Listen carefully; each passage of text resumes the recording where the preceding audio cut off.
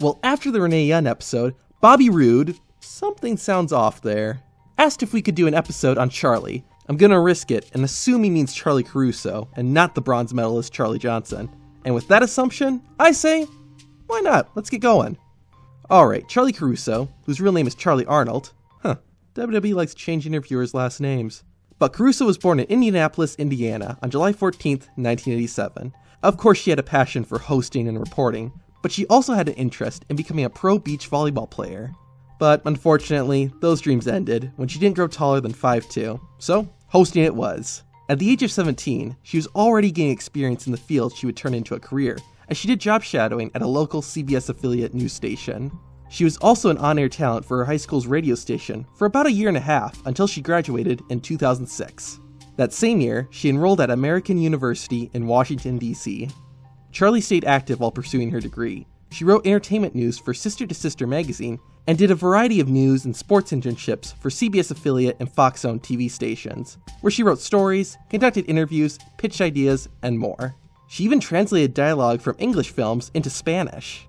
In 2010, at the age of 22, Caruso would graduate from American University with a bachelor's degree in broadcast journalism. For the next three years, Charly Caruso would work as a reporter for a few different TV stations across the country, going from West Virginia to Missouri, and then in December of 2013, she would go back to her hometown of Indianapolis and worked as a sports reporter and anchor for the Fox affiliate station WXIN, and stayed there throughout most of 2015. Also in 2015, Caruso tried her hand at stand up comedy and had her first show on July 18th. But in 2016, Caruso would make the jump into the world of wrestling, as she officially announced on June 23rd that she accepted a position with WWE. Just a week later, she would start working, as she co hosted her first WWE event on June 13th at an NXT Live event.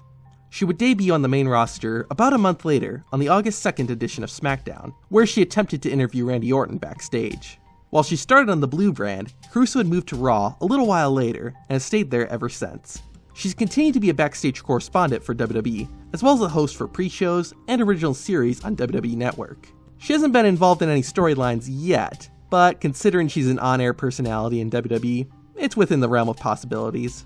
One thing I can say is that she is determined. Looking at her resume, she didn't wait around for opportunity to come to her. She went out there and found it herself. That's pretty cool, and I admire that. But what are your thoughts on Charly Caruso? Leave it in a comment.